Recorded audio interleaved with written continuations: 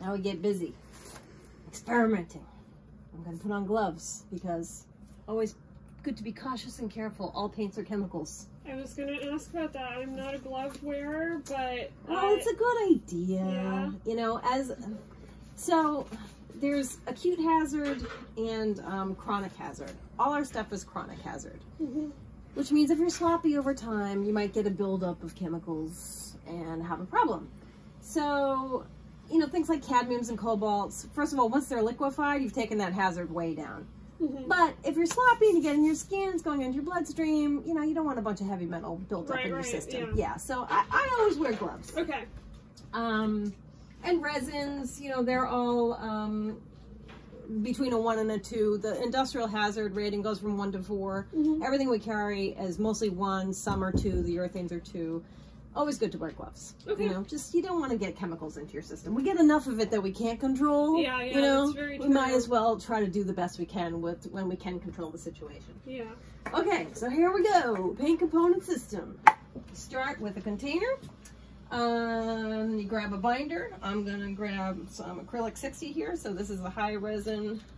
Have to, that cap is really What does the number mean? The sixty. It's the resin content. Um, it's actually 59% resin content. It used to be 65 originally. Um, and then they reduced it to 59, but that is the highest resin content available on the market, and that's all you need. It's like overkill.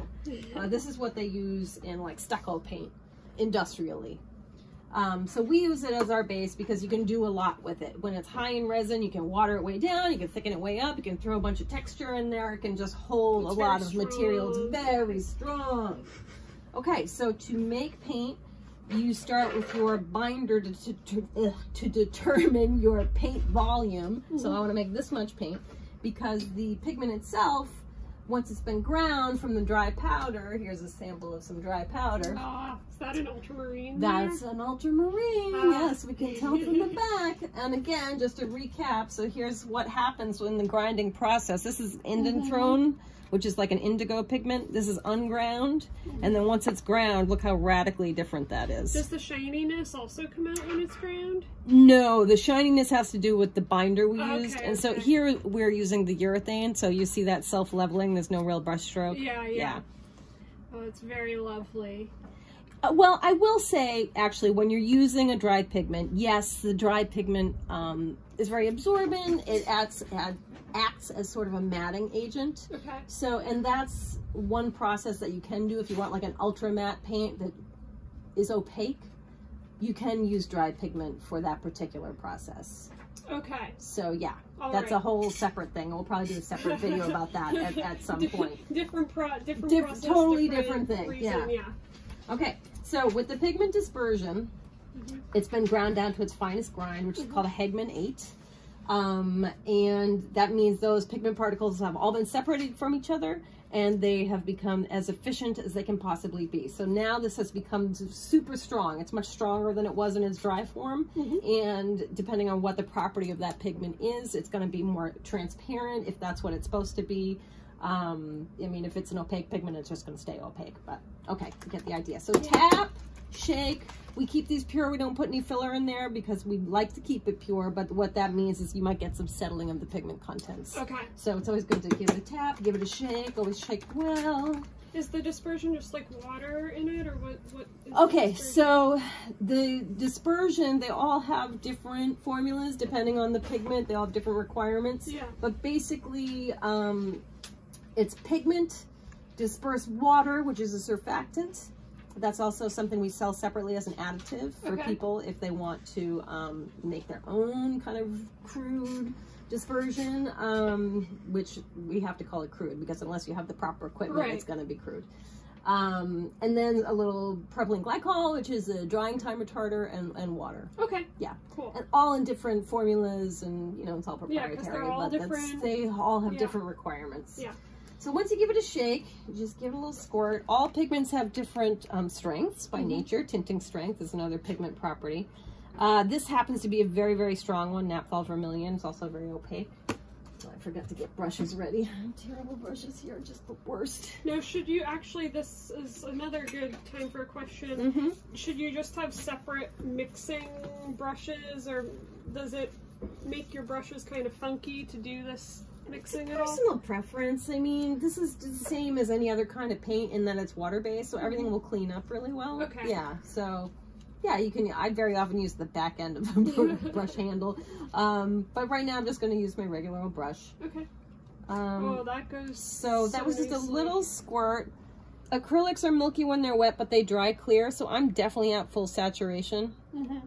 Again, the whole point of this, the thing that makes this system so great, is you get to control the saturation. You get to add as much or as little pigment as you want. It's not a predetermined amount. So if you add just a tiny bit of the pigment and you say have half saturation, does that mean that it's gonna dry like kind of transparent or light? Yeah, or- if it's not fully saturated and it's uh, meant to be an opaque pigment, then yes, it's going to be um, more transparent, but it's also going to be not as high of a chroma as it would be So if it'll it was fully saturated. Okay, it'll be Yeah, a little little be duller. like thinned out, basically. Okay, Yeah. okay. So I'm definitely at full saturation with this one here. Yeah, looks nice. Oh, it's so now this um the the binder that you've mixed it with is pretty liquidy. This one is a fluid acrylic we have. Yeah, this one is, um, we have acrylic 60 and we have acrylic 65, which is the thickened version of this. I'm about to show you the thickener. Ah, okay, yeah. I'm a. I, I mean, I use my acrylics pretty thinly, but I like to have the. I use heavy body stuff. Yeah, So, You get to control that too. cool. Yeah, so, um, yeah, this one is fluid. This is unthickened. So you can use it as a fluid acrylic and you can also water it way down, you know, Okay. as much, uh, up to eight times as we said before. Okay, so this is a very heavily used off the sample table thickener number one. This is a rheology modifier.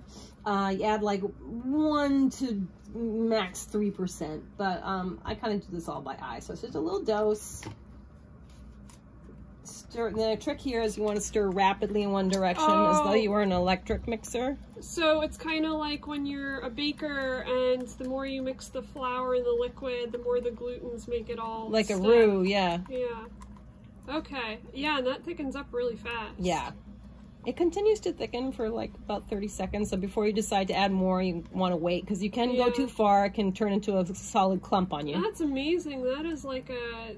That's magic. Magical. This is still kind of loose, so I'm gonna make it, I'm gonna bring it so it's a little bit stiffer. I'm gonna give it a little dose more. Now, yeah, is this stiff enough for it to hold the It will, shape? it will, Wow. once I'm done here.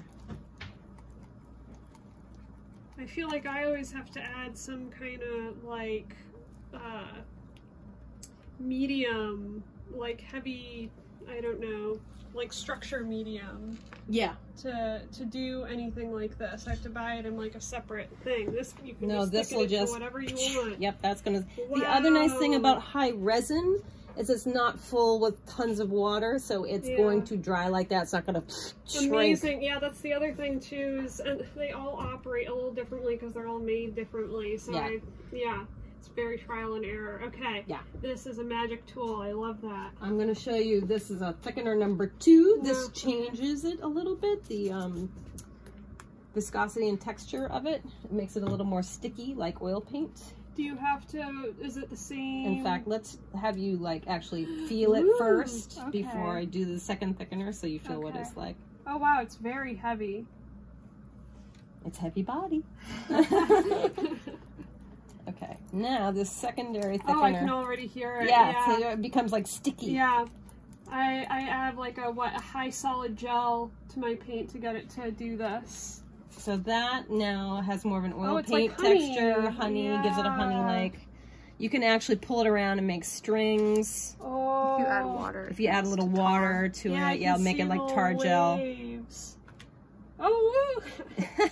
That's fun. That's really fun stuff. I love how much fun you're having. It's great. This is like it's like going to the science museum or something. yeah. Let's see if I can pull it. Yeah, see, it's like. Oh wow. and will it hold that little wave too? Well, the thing about the thickener too is it's a it's actually technically a urethane thickener, so it has that mm-hmm. self-leveling property. So it mm-hmm. adds a little bit of that self-leveling property to the Oh, acrylic. okay. So no, that's Okay. gonna that's gonna want to sink a little bit. Okay. But for the most part, when it, that's pretty much gonna dry like Yeah, that. But a, a peak is- like that'll flop over. Now, is it gonna have? It's turned into like kind of like oil paint. Will it have that like glossy, Super glossy. to it? That's the other thing about high resin. It's Yeah. the resin is the glossy thing. So now we're gonna get into some metallics. And to do that, I'm gonna use the urethane because the urethanes are more clear when they're wet. So we'll see what we're getting. We don't have to wait for it to dry to Okay. see the sparkliness. Uh, let's see. And again, urethanes are self-leveling. They're not gonna hold the brush stroke like that. So, again, the binder determines your paint volume. So I'm gonna make that much paint. We'll start with making a straight silver. Super Shine Silver, this is a aluminum concentrate. Mhm. Shake, shake, shake. Always shake your dispersion. Oh, Sorry, this one's a little bit There we go. Wait, so does the super shine silver have to be in the urethane one, or can it also? No, be it could be in any water-based binder. This is another water-based concentrate. Okay. Now, it's a good idea to put it into a gloss if you want it to look nice and metallic. Okay. And here's um, you know, a dried sample. Um, this is actually mixed with the liquid glass pearl, which is another thing I'm going to show you. It's a glass particle pearl, uh, which makes it even more sparkly. Um, but yeah, so this would be an example of it into a glossy binder. If you put, you can put it into a matte binder, but that's going to make a much more subtle, Yeah. soft finish. yeah. I like. Ooh, wow. So yeah, Yeah, just a, really fast. a little bit. Now urethanes are very sensitive, so the stirring is forcing air bubbles in there. Mhm. So it's a good idea to like let it sit for a minute to let those air bubbles pop out, but we're not going to do that. We're just going to put it there. Oh, that's so shiny. So shiny. That's like the shiniest paint I've ever seen. okay, now I'm going to add phthalo turquoise in there. oh, that's gonna be really nice. Excellent choice. Thank you. All right, I those saw are super one on the strong. Sample. Ooh. Mm. Oh wow! See. Oh, let's that is glorious. oversaturate it because we can do that. We can oversaturate if we want.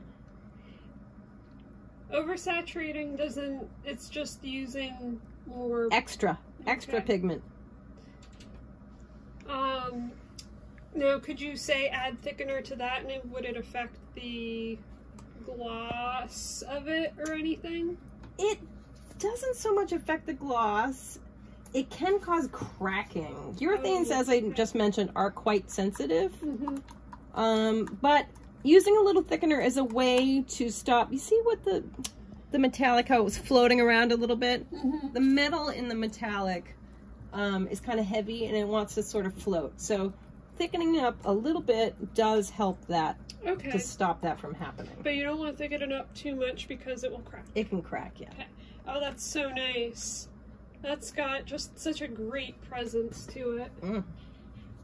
And it seems to make it more opaque. Is that going to dry? The um, Super Shine Silver definitely is an opacifier because of the metal. Okay. When you thicken it up, yes, that also is going to one make it a little denser, more dense. There. You know, that seems almost, or maybe, It could be just how I'm applying yeah, it too. yeah, yeah. I'm looking at it from a particular angle, so all the light effects are happening. Yeah. right And right. it has a smell to it too. I'm It has a little smell. Yeah, this one does. Now, is that a thing that would you usually have ventilation with that? I always Yes. recommend ventilation in the studio. Yeah, Okay. totally. Gloves, ventilation. Um, if you're using large batches, like we sell buckets of resin, I like to wear a respirator mask. Um, you want to use a dust mask, an N95 if you're working with dry powders. Right. But the dust mask mask does not help you in terms of fumes. You need a respirator mask. You, need one, of the, one, like the, two- spray painter. Yes, yeah, those, yeah, I got yeah. one of those. with yeah. um, organic vapor is the cartridge you get for that. Yeah. I'm good on the masks, just not good on the gloves. I feel like I can't feel what I'm doing, and I I know I need to get over know, I know. Well, just Yeah. wash your hands immediately if you get stuff. Yeah, yeah. Okay, let's uh, stop the video and I'll make room and we'll do a texture. Transparent oxides real quick because they're really cool and it's a way of making a stable copper and gold that's not from bronze powder because bronze tarnishes. Um, so here is our urethane 32. This one's crystal clear when it's wet. It looks like what I use to bleach my hair. Kind of. Don't put this on your hair. this is a transparent oxide called azo russet. Super beautiful. Tap, tap, shake, shake. Little drop. yeah, you really don't Stir put in much up. at all. No. Now it really looks like stuff I put in my hair. So this is a very transparent pigment, as you will see here. Yeah, that goes on really uh, like a syrup almost. Yeah. Okay, then add a little super shine silver to that. Let's see what we get. Oh. Ooh. yeah, so Yeah. these this you can get a whole wide range of um, golds, coppers. Here's some dried samples. This one is Yeah. Azo Golden Brown. I'm Um, amazed at how different the character gets, like when you add the super shine silver to it. Like, yes. it starts out very, uh, I don't know, like natural chromatic. Then it goes to this. I don't know. It's like a neutral becomes becomes a. Me- I mean, literally a metal because there's metal Mhm. in it. But I think that's really interesting that you can do all the saturation play with it as well as the Completely. the shine. Yeah, yeah. Uh, so that one's Azo Golden Brown. This one's Yeah. Cattail Brown. So this is what it looks like with just a little pigment in the urethane, a little more pigment, a little super shine, more Yeah. super shine, more super shine. Same treatment here. I love this as a color. That's such a I nice know. color. Uh, Cattail Brown makes a beautiful gold, at which, as I say, that's not going to tarnish on you. So when you're using a bronze powder, those tarnish. And this one's Benzimidazole Brown, which has a real um, reddish Mhm. kind of undertone to it. Yeah, Uh, yeah, that so turns those. mauve. I love those. All right, now let's jump to textures. Textures. There's so many different things you can do to this. Yes. Paint. Okay, so when you're working with dry fillers, and we have a bunch of dry fillers, we have a, a whole variety of different uh, sizes of glass beads. Mhm. We have tire rubber, we have magnum, we have pumice. It's kind of the same treatment for all of them. Um, some of them require dispersed water because it's harder to wet them, like tire rubber, that really is water repellent. Mhm. Something like glass beads, you don't really have to add dispersed water. Dispersed water is a surfactant that goes into all paint, actually. It's in our dispersions. It's um, it's just something that helps wet things out. That's what it does. Okay. So basically, whenever you want to work with a dry filler, the dry filler is going to determine your paint volume pretty much. Okay. Then I typically add just a teensy bit of water, just enough to like wet it so that it's like wet sand. I usually use the back end of a brush handle this time. And why do you wet it? This also helps um, you to use less acrylic, so this way it's pre-wet. Okay. So if I were using the tire rubber right now, I would also add a little bit of dispersed water because it allows the water to go in more easily and I don't have to use as much. So you don't want to see like any water down at the bottom, but just so that yeah, it looks damp. Looks like wet sand. yes, exactly. Uh, now I'm going to use my high resin acrylic. Now, when you're mixing these with paints, one thing that happens to me when I add in different, you know, fun things is the paint dries quicker. Um, does that happen with this?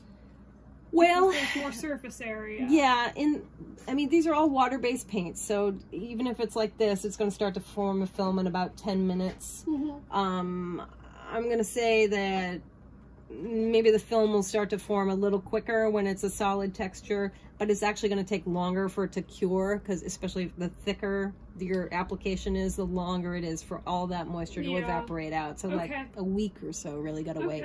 And they have to be dry days, not like rainy days. Okay. Because if, if you're painting in rainy weather, nothing's drying. Oh, this is for like outside painting.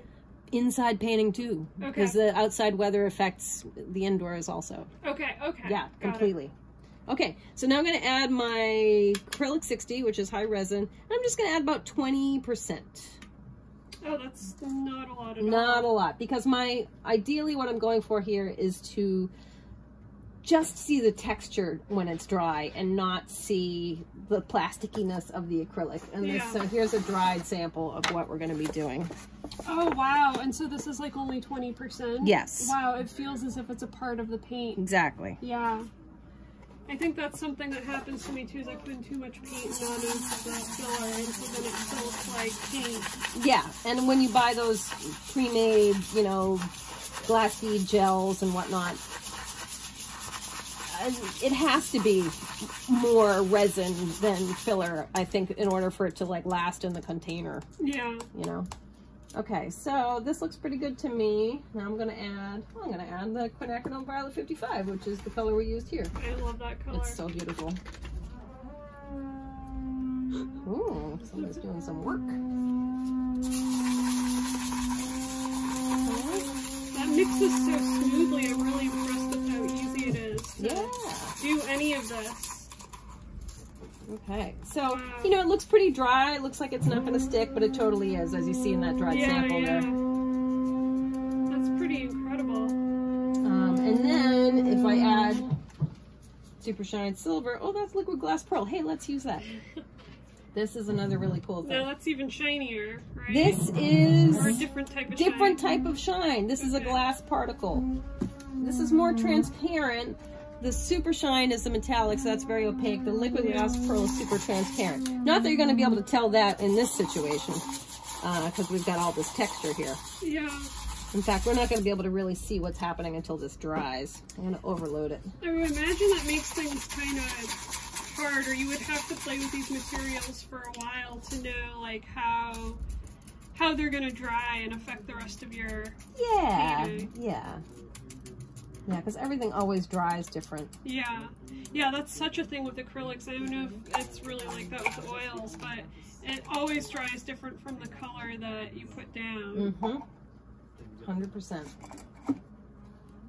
Okay. especially ultramarines that i can never get a good ultramarine Yeah, I know it. it dries so dark Been seven minutes. Okay. Yeah, we do. Let's see. And I wanted to show you the, so that's how you work with dry fillers. But I wanted to show you the pre-texturized acrylic we have, the uh, ultralight.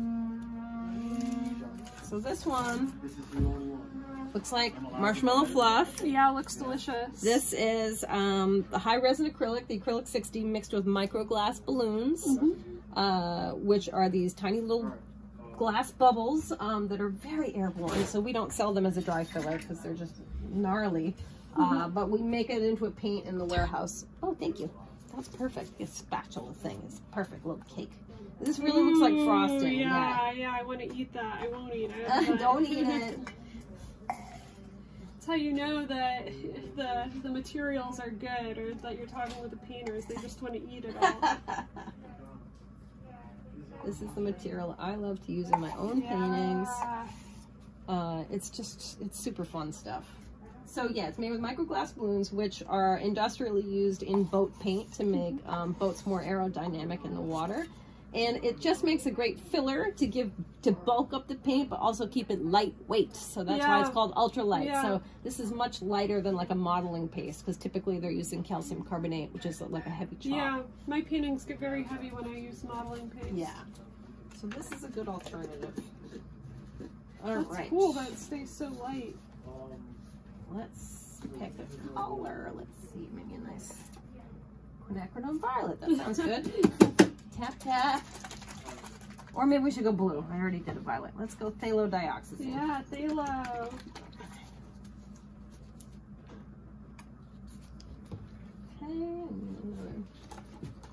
Is this a warm phthalo or a cool phthalo blue? That was actually mixed a little bit with dioxazine violet, so it's going to be cooler. Oh yeah, that's nice. We typically only have um, single pigment concentrates, but this one is a mix.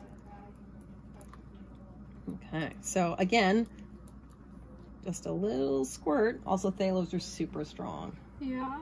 So this is pretty thick coming out of the Mhm. container as is, but if you want to stiffen it up a little bit with the thickener, you can. And this is the kind of thing that holds too, since it's what you use with your own painting. Yes. Yeah. So I, I pipe this out with a pastry bag and it totally holds its shape. Yeah, just a little. And this the this is coming out very light right now. This will this darken? Yes. Okay. Yeah. This material um, stays white. It doesn't dry clear like the acrylic because the micro glass balloons are very white, so they'll Mhm. pacify it, make it very white. Okay. So yeah, you might need to add a little bit. If I wanted to get this to be like a really dark phthalo, like the color at the top of the bottle here, I'd have to add a little bit more pigment. Yeah. Uh, but yeah, you see how oh that wow, yeah. just You sort of just- stays put. And I feel like this would have to cure forever and ever. It does. Again, a thick piece of paint like that, at least a week, maybe two, Man. to fully like Yeah. because the underneath would still right, be wet. right. It'd be fine on top, but Yeah. still be. Oh yeah, that's nice. That's like this is this is the sweet spot for color. oh, that's so good. So this is just the sort of Yeah. beginning. You know, there's so many things you can do. I feel like I could stay here forever. Thank you for spending so much time with me on this. Let's look at some of these crazy whoa dried samples. This is a, a cool little painting that Noelle did with what are all these different things in here, Noelle? Um, that's um, acrylic with super shine silver and a bunch of like mud colors and um, pumice fine and then this is pumice extra fine this has white mica and azomethine I think Mm-hmm. this is ultralight ultralight ultralight with flock silica flat that got thickened Cool. um, I think this is more thickened ultralight with flock. This is urethane 40. Um, All kinds of things. Wow. Oh, here's um here's a sample of the dried tire rubber. Oh wow. So you can actually feel that. Oh, it does kind of. Gotta be careful. It's a little crumbly. We were messing with it. Noelle was peeling it. It's like a pancake. You could that. That's another edible thing. Just pull it right off. and here's a, a pumice. Oh, I like that. That's really nice. And let's see. so sorry, it's been 11 minutes. So you might. Is it what time is it? It is. I just want to show you the liquid gold. Okay. This is um added to I think a phthalo here, but we have this um glass particle liquid gold also that just uh, the glass Like, particle is gives it extra shine. It's so pretty. It's it's like a glitter shine versus a a, a sheen. Yeah, Like- it's just super reflective. Yeah. Oh, it's so nice. It's like stars. Yeah, stars. So yeah, the, you know, sky's the limit. You can do whatever you want. All oh kinds of amazing things. Oh, there's so many cool things. I see how people are totally addicted to coming here. Like, once you go once, you can't stop going. People get hooked. Yeah. Yeah. Cool. I'm gonna pick out some uh, some things while I'm here. Well, thanks for coming. Thanks, Thanks for, for asking all your questions. Yeah, yeah, I really appreciate it, and hopefully I'll see you around more. Yes. This is such a lab here. Thanks for shooting, Noelle. Yeah. Thanks.